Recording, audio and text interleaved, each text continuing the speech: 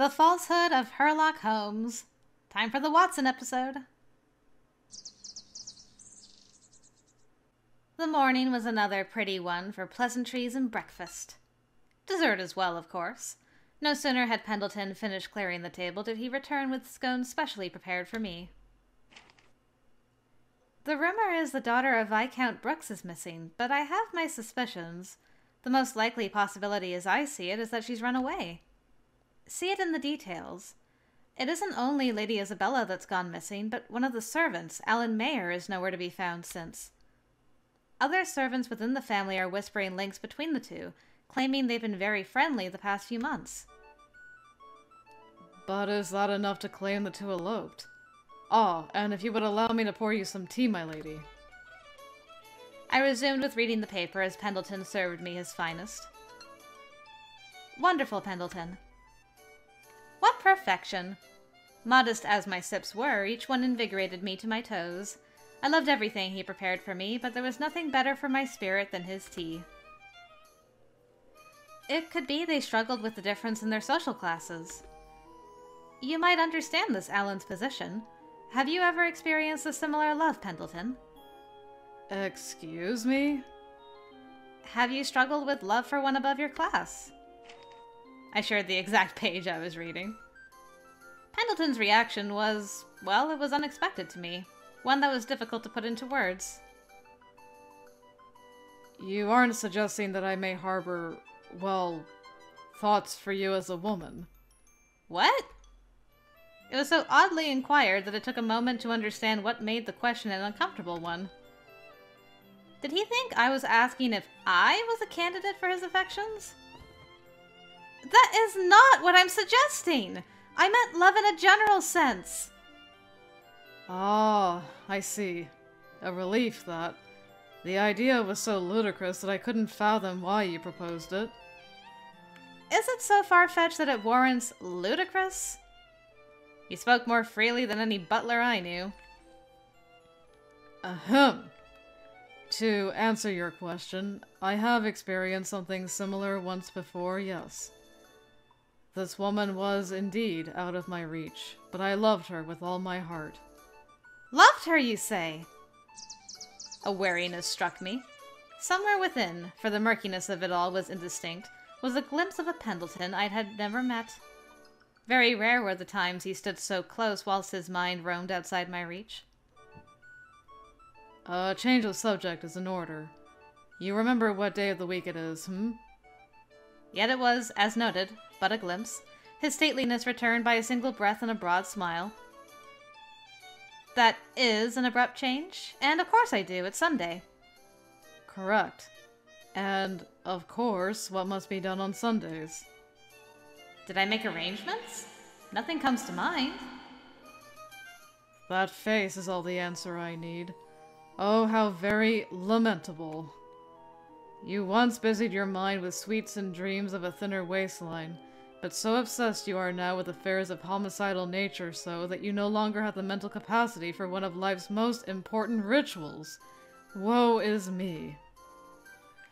If what I'm forgetting is so important, you might tell me instead of pretending to wail like a baby. Have it your way. This baby wails because you forget morning mass. Mass? Oh dear! How could I? Sunday church was a large part of my routine, and part of my routine it would remain. Had my life become so full of late that even faith was shelved to the back of my mind? That is important! How terrible of me! Your face tells me you're thinking, how terrible of me, and I agree. Will you go? A bit of prayer at the church ought to bring you focus. That it would. Much more than staying cooped up here for the day, certainly. We didn't have lessons on weekends, and so it became a weekly battle to rouse myself from bed before the temptation to do nothing possessed me. The weather today was exceptional, and it would have been a waste to spend the day indoors in favor of bed sheets and slumberland. We arrived at St. James's Church. Watson and Holmes were both in attendance. Good morning, Emily. Good day to you both. And to you. it feels strange to run into you somewhere other than school. Does it? Suppose now you mention it, we've never met this early on a Sunday. What difference does it make? We didn't come to stand outside. In we go. Yeah, since barking orders is plenty more effective than a polite ask. Holmes, as he so often appeared, was in a tender mood that few would chance to remedy. This morning I wondered if he were especially sensitive, for his eyes were squinted from beneath with puffiness, and over from his lid- lids not unlike the way one copes from an unbearable headache. Short on sleep as you are, no one else knows but me. Won't kill you to say please. Why? Do you feel well, Holmes? Like a real bench winner. Now can we please go and s- Would you step to the side, budding doctor? Marple! How long have you been here? Hmm. From when you said, Good morning, Emily, or so. That was the very first thing I said. Marple next turned from Watson to me. A pleasant morning to you, Emily. And to you as well, Marple. She greeted with composure. Watson stood behind her wearing an expression that was desperate to speak whilst left speechless. I'm never quite sure if they get on well or not. But what chance that we all met here? I had no plans secured later, and seeing them presented a number of wonderful ideas. I could have marched back home, head held high, knowing religious requirements had been done and that I remained a well to do believer, but where would the fun be in that? I had to make use of this occasion.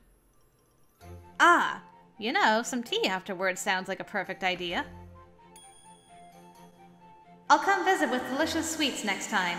Thank you again. There's no time like the present. Watson, Holmes, Hmm? would it be all right if I pop by your office later? Or we could walk together after the service is over. Course it'd be alright. We'd be happy to have you. We would not, Watson. You can't decide on your own. I know! You should come with us, Marple. So I've turned invisible. I would love to, Emily, but I've regrettably something else to take care of today. That's a shame. I'll be sure to come when the time presents itself. You needn't look so glum. She stroked my hair to comfort me. I shall take that as a promise. Ah, yes. Emily? Watson, for his part, was reluctant to bring something up. Perhaps I've been too forward. You see, our flat. Our flat is. Have you your own matters to take care of? If the timing is inconvenient, I quite understand. Oh, no. Nothing at the moment. I'm more worried that the place is, um, not tidy. It's a real mess, if I'm honest. I hope that won't be a bother to you. It's not a bother. I'm sure you're making it worse than it is. How I wish that was true. It was in the Baker Street office when I finally knew what Watson meant. Uh, Watson darted into one room, arms straining to carry a mass of books which had been previously scattered about this way and that. Straight after, he darted out again, this time collecting a mountain of clothes and other misplaced knickknacks along the way. It wasn't cleaning, it was shuffling from one incorrect place to another temporary or very permanent incorrect place. Mm. I, I. I should have come at another time. Was I pleased to have been invited? Absolutely. And once I arrived, did this change to a despondent hunch that I may be in the way? Most assuredly. As I stood and ready to excuse myself with a curtsy, Holmes entered with a tea set on a tray. I went to the trouble of making this for you, Miss Whiteley, so you had best drink it. Th- thank you. I took a small sip. It's delicious. Of course it is. I brewed it. Oh, Holmes! Would you pour me a cup? I'm not going to the effort of pouring a cup that will soon find itself all over the floor. Make your own. Have a little pity for me. Just then, we were interrupted by a knock at the door. Yes, who is it? Were you expecting a visitor? No one. I can only assume they must be here to give us work. I do apologize for the mess. Please, right this way. Watson escorted the woman inside. I would, at first glance and in simple terms, describe her as a middle aged woman on the cusp of being referred to as elderly. The poor woman is terribly off color. It's Madame Janet. When he observed her for himself, Holmes stiffened considerably and whispered her name in a low, unsettled tone. It was not one second later that he dived downwards to hide behi- beside the table with a clumsy thunk of movement. A clumsy maneuver on his part, strange in general by anyone's review, but made stranger from a man like Holmes. What's wrong, Ho? Do not speak my name. Holmes's glowering proved ineffective when paired with panic. That woman is the wife of Duke Alex Janet. He died of a heart attack last month. Excuse me, I've just remembered something that needs my immediate attention. The boy detective continued with his bizarre behavior. It was first the table, next a sprint to the wall, after this slithering that fooled no one, and finally a gallop through the doorframe for his final escape. Huh? Wait, hu- hush! Holmes was a man of stern glares, and the intensity of the one he sent to Watson was historical. Oh, by the way, what, uh, Holmes. What? It wouldn't do for me to be getting in the way while you have a client here. I shall take my leave and return home at once. See you in class tomorrow. What? What's going on? This is your home! He ignored Watson's cries to stop and raced through the back entrance without further discussion. Nothing more could be done. So I assume it was then that Watson like went after him like, "What the dickens is going on, Holmes?" And then we get the flashback scene later, and then he comes comes in now. Oh. I wonder just what is going through Watson's head now. Pardon me. You're Madam Janet, if I'm not mistaken. Is there, uh, anything we can. How may I help you? I have something I should like to discuss with Mr. Holmes directly. Directly? I've received many a credible word regarding his capabilities, but it was not till this moment that I could bring myself to arrange a meeting. I am to leave London tomorrow evening, and, naturally, my mansion will not be under my eye during my time away, meaning this is my last chance to request his help. If his work is as glowing as his reputation, then I am certain he can put my mind at rest. As it stands, I tremble at the notion of leaving my home unattended. How unfortunate that he's just left. Hmm. Upon her final desperate plea, Watson righted his shoulders and lifted his chin to assume an aura of confidence. Whatever he was to say, he wished for it to be a bold declaration. Pray, I would hear more details, Madam Janet. Mm-hmm. I, Holmes, would be delighted to take on your case. What? What? And this declaration was too much of a shock. All I could do was stare, mouth hanging open. He's gone mad. What is he thinking? My, you're Mr. Holmes. Do forgive me for not realizing sooner. You have a sturdier figure than I was led to believe. I've become out of touch with the world since I stopped reading the paper after my husband's passing. Ah, but that's neither here nor there. I'm so very pleased by your enthusiasm. The madam was moved. Very genuinely, she stood and grasped his hand with a shaken, earnest grip. W- well, why don't we get comfortable here and you start from the beginning? It was only after he gently broke free of this that he indicated to a chair in the room. Pardon my asking, but who is this young lady? M- me? Um. I'm. Oh! I apologize for not introducing her earlier. She's she's Miss Watson, my very capable assistant. I'm who? This is absurd, Watson. I thought my jaw would unhinge. Watson tried desperately to convey a message without saying a word. He wants me to go along with this? Oh, easier said than done. Oh, I've been told your assistant's name, but that she was a woman. That's quite a detail to have not heard from anyone. She made it no secret that she carried suspicions, and rightly so.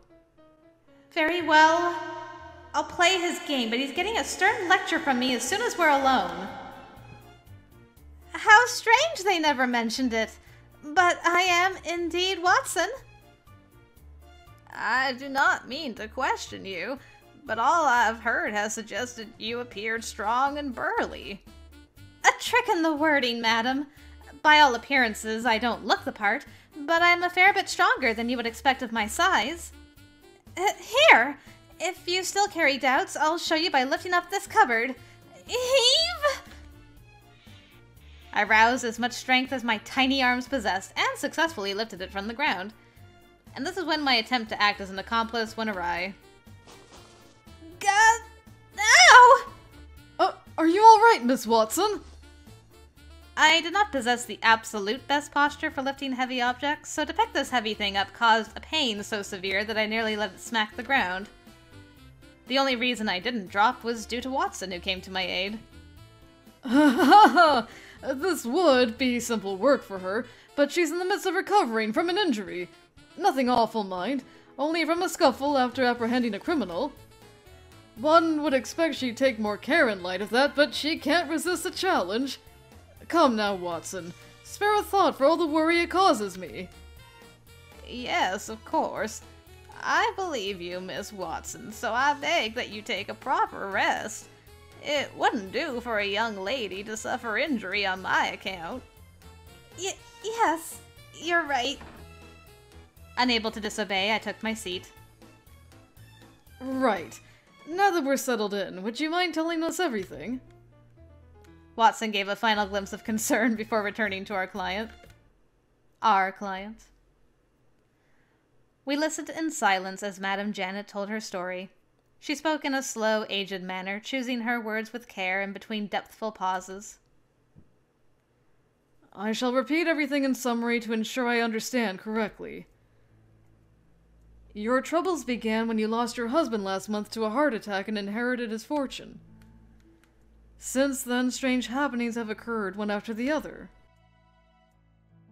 Your butler was injured by a snake race at the mansion, one of your maids collapsed from illness. And you were pushed down a staircase during a trip to London the fortnight previously. All this has led you to believe you and your servants are being targeted by someone after your inheritance, correct? Yes. Please, I beg you. I must have your help. If I were the only victim, I might continue to remain ignorant, but I cannot bear to see those around me suffer. What will happen come tomorrow, when I'm away, when I've signed the formal inheritance proceedings at my husband's family home? I fear with all my heart for those under my employ. To speak so uncertainly would commonly lead to suspicion, but I could conclude. This woman was an honest soul. These episodes brought her an unease that haunted her. This, with no trace of doubt, was the reason she spoke in such an irregular rhythm. Would you permit me to ask if you have any immediate family other than your late husband? A son whom we adopted ten years prior. His name is Ted. I've not seen much of him lately, however. He left home half a year ago. And why did he leave? He had a rather frightful quarrel with my husband over inheriting the family name before storming out. Is he aware of his father's death? Or these strange things you've been telling us? He knows of his father's passing, but none of what's been happening since. I've yet to see him since the funeral. We had little chance to speak during the funeral as it was. Why, when I noticed an injury on his arm, he refused to speak of what caused it. She mustn't want to worry him any more than necessary. If it was a quarrel over matters of inheritance, then is it because your son has no desire to receive anything? The opposite. My husband expressed to him candidly, I won't allow you to inherit the family name as you are now. Can you think of any reason he would say that? I'm afraid I can't. She leant forwards, just subtly, ever so subtly this movement was, as if she wished to add something more. Then nothing came, for she decided against it. I think that's the most we can work with for the present. Would it be any trouble if the two of us visited your mansion for a more thorough investigation? Oh, it most certainly would not. That was, in fact, the main purpose of my visit. Thank you. We'll need a moment to prepare, so I hope you're comfortable waiting here for a moment. Perfect! Now to sort out this higgledy-piggledy name business. I scrambled after Watson as he stepped into the next room. This is a bigger case than I expected. To effect the moment, Watson exhaled with loud drama as the door clicked behind us. Watson! Just what are you up to? Oh, right. I hope you aren't too angry. You're, um, not hurt, are you, Emily? I'm perfectly well, but was it really so necessary to lie? I wouldn't have if I hadn't heard out Holmes first. Madame Janet's mansion is well known for being full of animals. Were I to go to a place like that, I'd scarcely come back alive. No. Never mind that. Whatever the reason, I've another urgent task to look into. I need to investigate something in this letter. It is of the utmost importance you work this case. Holmes. And there you have it. Does he do poorly with animals? He'll never admit it, but he's awful with them. I'm not sure what we should do after hearing her story, though. This is no small case. I'll have to look into it to some extent, of course. You wouldn't turn away a woman in her state, would you? This laughable happening did not inspire a jest on Watson's part. This curiosity, this mystery, the situation that was dire to the woman inspired him to become the real Holmes. I would have to make two with being annoyed at Holmes over Watson, then. I couldn't, so you won't be going alone. I'm your assistant, and that is what assistants do. I am sorry for calling you Miss Watson out of the blue the way I did. Really, I am. You aren't bothered, are you? I was startled, but not bothered. At this point, I would like to help Madam Janet as well. And you. Thank you, Emily. Emily? I think you'll find I prefer to be called Miss Watson. Isn't that right, Holmes? Uh, oh! Of course. Right. How could I give her my surname? Like it's nothing at all. Oh, it's not the same as being married to her, you idiot. Hmm? Is something the matter, Watson? No, nothing. Let's go back. The madame's been kept waiting long enough. Oh, Watson. We then set off for the mansion, which we discovered was situated along the outskirts of London. It took but our immediate arrival to see why it was known for its animals. The garden, vast and surrounded by a study fence, was home for breeds of all kinds to roam. Dogs, cats, ducks, pigs, and others were in view. What a sight! You must love animals, don't you? My late husband was particularly fond of them. He would bring in all manner of exotic creatures from abroad to raise them without a second thought. The mansion is treated as something of a zoo amongst the locals, as we have visitors who come from time to time to look at them. It became so known that a respected zoologist, Baron Lionel, once came to admire the grounds two years ago. Perhaps you know him. He's very active in the fields of hunting foxes and rare game before stuffing them, you see, but he appeared most impressed by our collection. I'd love to see some of the more exotic ones if I could. Hmm? What is it, what? Um, Holmes? Well, this bloke, um, fellow, has been following me since we stepped in. Behind Watson was a stunning jet black horse. Well, well. He's always been reluctant to approach anyone who wasn't my husband. You must have a way with animals. I have been known to attract them, yes. My husband loved smoking so that he had his pipe lighted whether in the house, a carriage, or anywhere else, except in front of this very horse. That's quite a bond he must have had. A real task it is to separate a smoking man from his pipe. Watson motioned to stroke the horse in a way that said he had done so a thousand times before. The horse, in turn, lowered its head and appeared all too pleased with the attention. Look at how much he's enjoying himself. I adore horses, so I'd be real, um, quite tickled pink if he is. In moments, there was a healthy crowd of handles surrounding Watson. Birds flittered atop his hat, curious dogs grew excited, and other animals arrived to beg for a loving pet. Um, Watson, are you attracting them on purpose? She did say her husband loved them, didn't she? Uh, I ought to stand in his boots before solving a mystery about him. The more proofs, the better.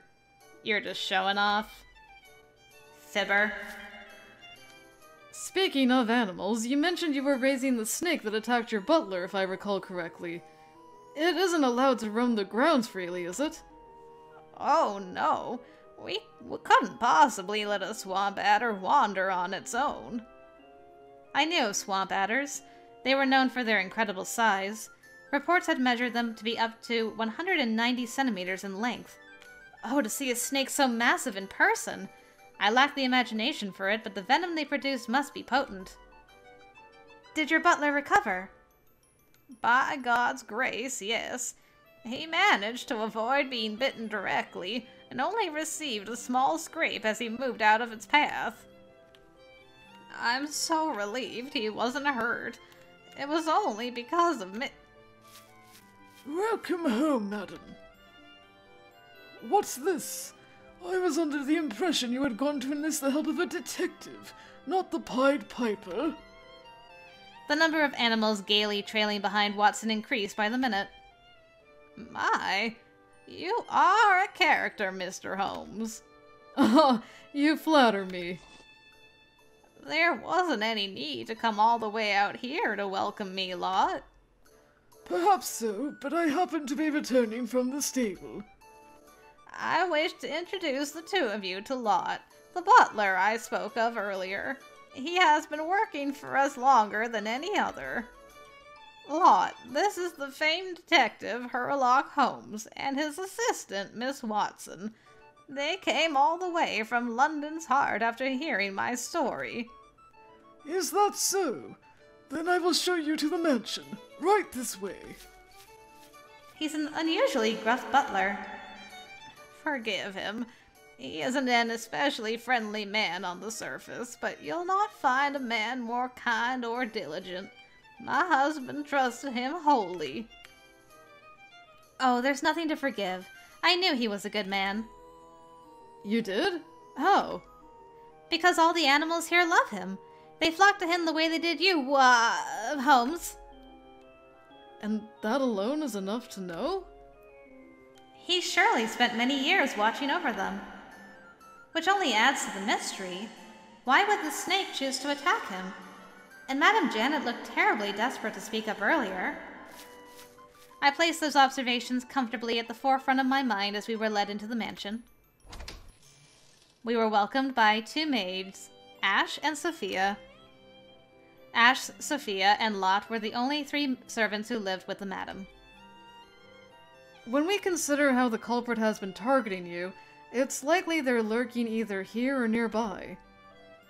If we have your blessing, we'll survey the mansion for clues of any kind. By all means.